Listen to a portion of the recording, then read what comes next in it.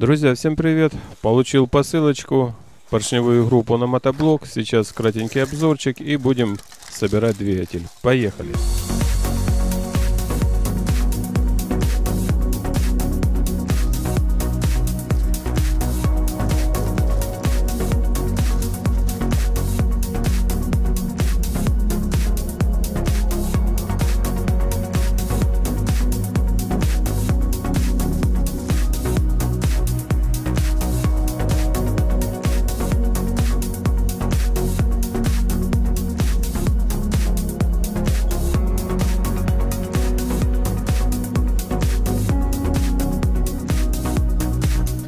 Итак, давайте посмотрим тепловой зазор между поршнем и гильзой. Вот видите, э, зазор приличный. Э, что я хочу сказать, что два года назад я брал оригинальную группу Зубр точно с таким же зазором. То есть два года отработала и пошло масло. Получается и здесь. Попался мне первый интернет-магазин, купил и, собственно говоря, э, зазоры одни и те же. Так, это с верхней части было, и вот с э, нижней части, то есть юбка поршня. Здесь зазор намного меньше. Почему так? Потому что поршень отливается немножко неровно, то есть внизу, где юбка, диаметр поршня больше получается, а вверху меньше, потому что верх у нас нагревается. Как вы знаете, при нагревании алюминий расширяется, поэтому так отливают поршня.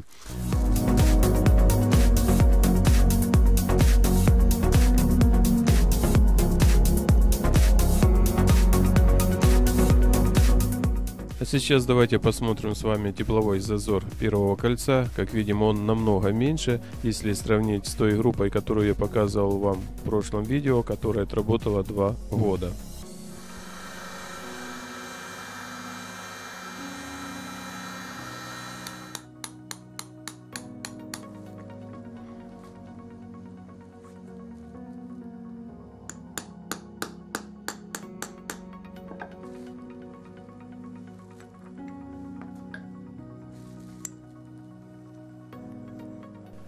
Установил я палец в нагретый поршень, значит шатун устанавливается у нас э, вот это вот для смазки пальца отверстием вверх и поршень вот это у нас тоже получается вверх.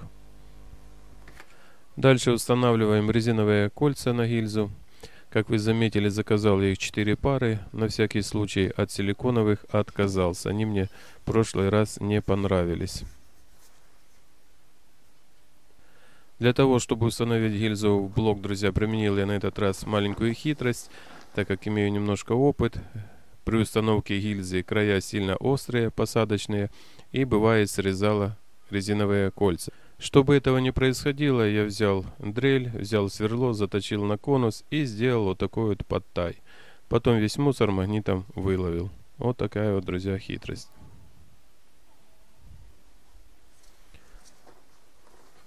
Так, ну и приступаем к установке гильзы.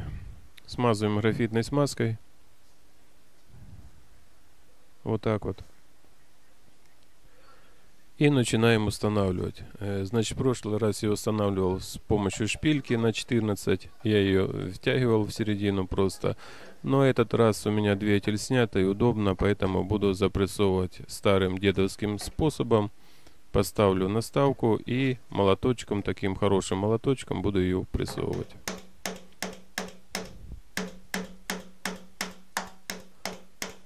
Когда гильза немножко зашла, включаем фонарик и смотрим. Там прекрасно видно, не вывернулись ли наши резиновые кольца.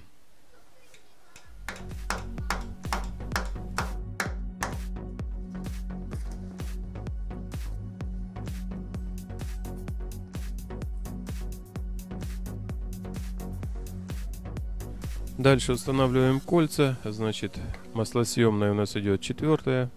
Вот оно. Э, два одинаковых цветом идет третье, второе. Вот оно.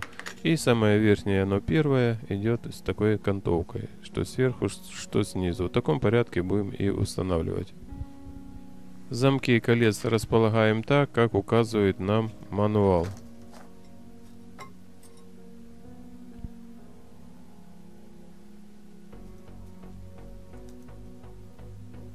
Ну а для того, чтобы установить поршень с кольцами, я применяю хитрость.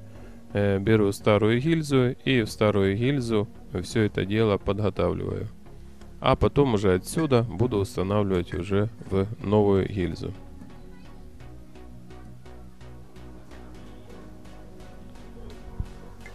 Так, готово. Наш снаряд заряжен.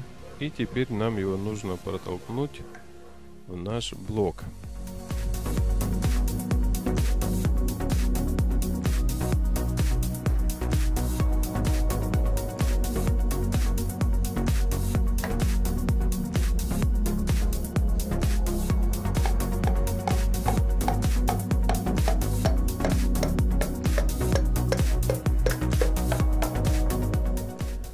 Вот так легко и просто установил я поршень вместе с кольцами.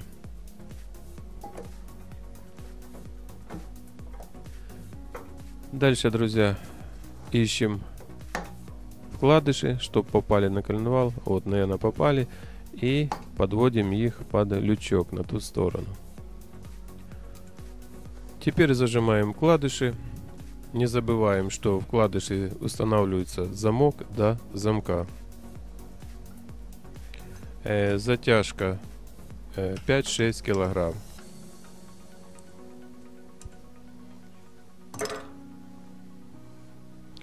И проверяем, чтобы нигде не закусывало. Ну, так как они уже здесь работали, я думаю, тут проблем не будет. Как видите, все прекрасно крутится. И не забываем зашплинтовывать. Так, друзья, перешли к прокладочке. Намазываю ее тоже графитной смазкой. И будем пробовать устанавливать.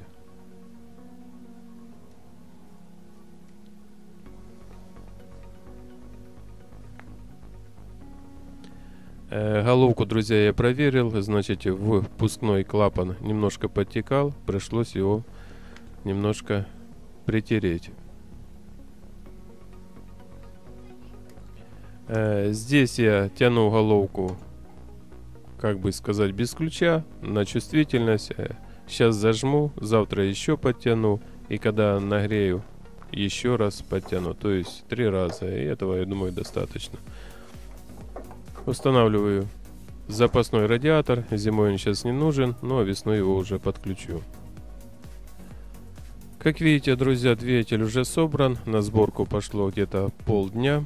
Осталось его заправить э, маслом, охлаждающей жидкости, добавить топливо, установить на раму и пробовать заводить. Друзья, ну сил уже нету, поэтому оставлю все это дело на выходные. Потом сниму вам коротенькое видео, как он заведется после ремонта. Всем спасибо за внимание, всем удачи, всем пока.